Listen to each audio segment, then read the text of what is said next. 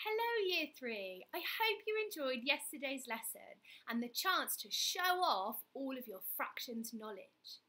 Now, Miss Lopez and I have both been in school these past few days, so we might not have been able to comment on your work. But we have looked at it all and we're so impressed.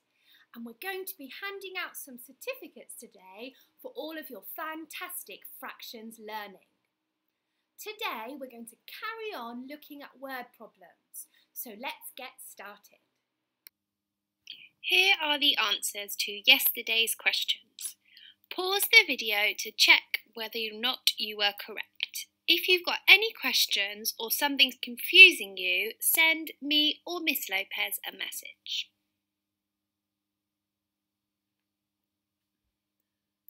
Today we are going to be continuing to solve word problems that involve fractions.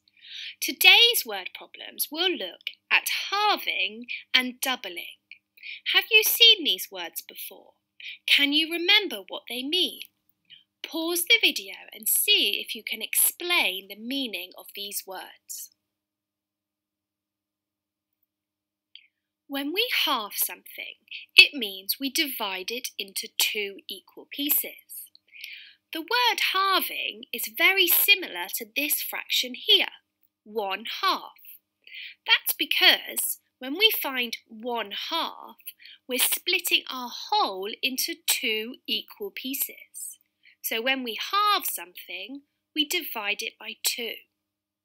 Here is a pizza and I've split it into two equal pieces. I've divided it by two. So we could say that I've halved the pizza. And if I take one of those pieces, I've got one half of the pizza.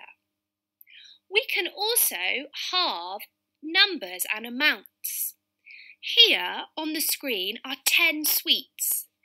If I wanted to halve these 10 sweets, I would need to divide it by 2 or split them into two equal groups. Here is one group of 5 and here is another group of 5. So I know that half of 10 is 5. 10 divided by 2 is 5. Or 10 split into two equal groups means there are 5 in each group. So let's remind ourselves. When we're halving, it means we're dividing by 2. When we double, we're doing the opposite. Instead of dividing by 2, we're multiplying by 2.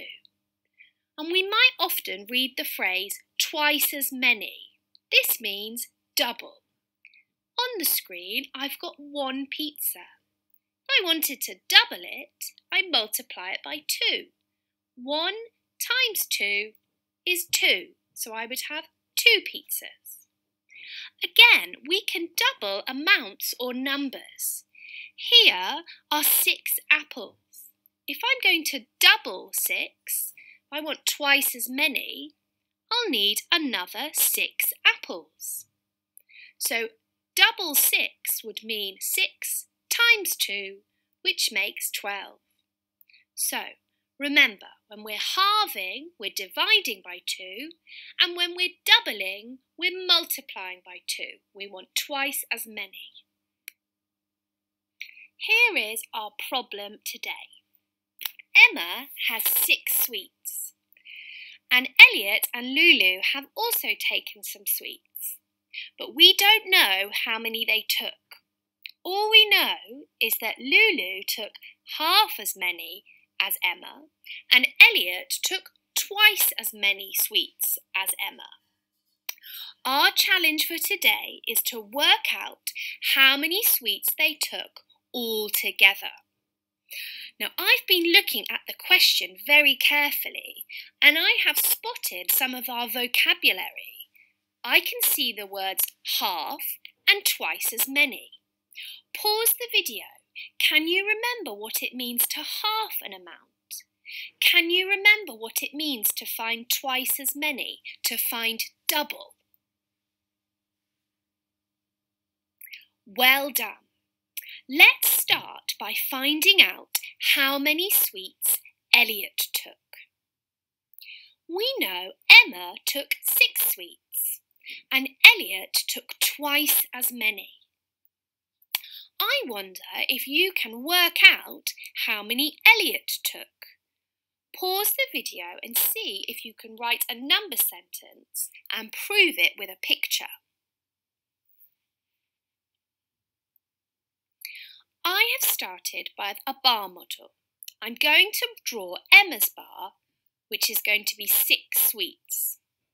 I know that Elliot took twice as many, so I'm going to give him the same bar as Emma and another bar because he took twice as many, he took double.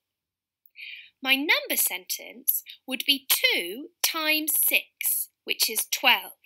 So I know that Elliot took 12 sweets.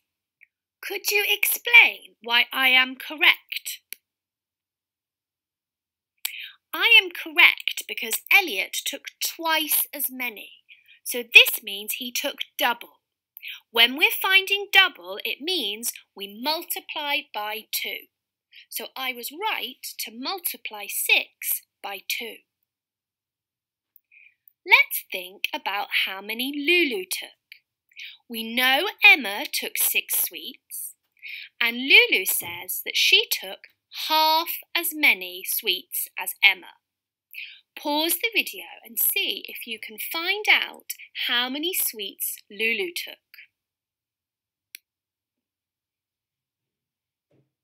I'm going to do the same thing I did to work out how many Elliot took. I'm going to draw a bar model. I can start by adding Emma's sweets. She took six sweets. How do you think I would draw Lulu's bar? Our friend from Maths No Problem is giving us a clue here. She's saying that when we want to find half of something, we need to split it into two equal groups. So Lulu's bar will be half the size of Emma's bar. This means it will look like this. Can you see the outline of the whole bar? And can you see how Lulu's yellow bit is half? Let's use a number sentence to work out how many Lulu took. We could say that Emma took six sweets. We divided this into two equal parts. So 6 divided by 2 is 3. This means Lulu took 3 sweets.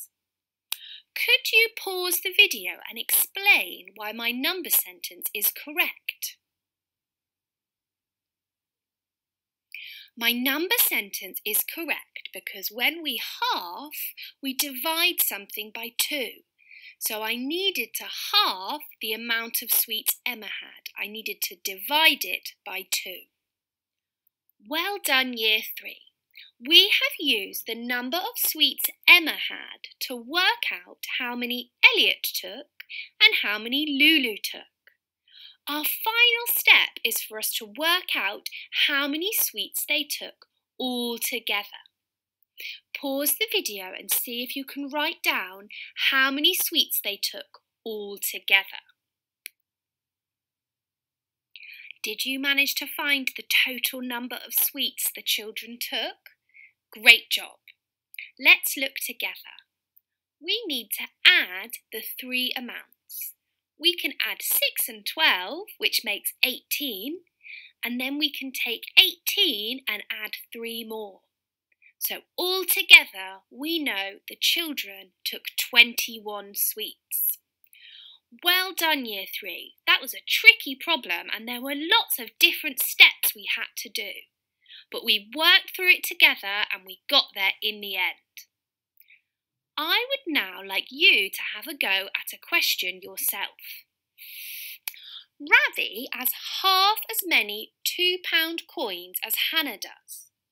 Hannah has eight £2 coins. You need to work out how many coins does Ravi have and how much money does Ravi have. I'm going to give you a clue. We've got this word half. Can you remember what we do when we are halving an amount or halving a number? Maybe our friend from Maths No Problem could help you. Pause the video and see if you can find the answer to the two questions. Let's have a look at the question together. We know that we are finding half. This means we're going to have to divide by 2. Let's start by working out how many coins Ravi has. I'm going to use a bar model. I've got a space for Hannah's coins and I've left a space for Ravi's coins. How many coins did Hannah have? Correct. Hannah had eight coins. We know that Ravi has half as many, and we know that when we're halving, we're dividing by two. So we need to do 8 divided by 2. 8 split into two equal groups. This will give us 4. So I can see that Ravi has 4 coins. We have worked out how many coins Ravi has. Now we need to count how much money this is. Remember, these are two pound coins, so each coin stands for two. Let's count together. Two pounds, four pounds, six pounds, eight pounds. So we can see that Ravi has four coins, but Ravi has eight pounds. Well done, Year 3, for giving it a go. Now it's time for your independent practice. I would like you to do page 126 and 127. This is worksheet 29. Now, if you look at these pages, some of the working out looks a little bit confusing. If you find it easier, you can read the question, solve it with your own method on a piece of paper, and then just fill in the answer at the bottom of the page. So if you're finding the working out from Maths No Problem a little bit confusing, just work it out yourself and write the answer. And if you found it easy, there's a challenge in our PDF pages for you. Have a go. If there's anything that's confusing you, send me or Miss Lopez a message.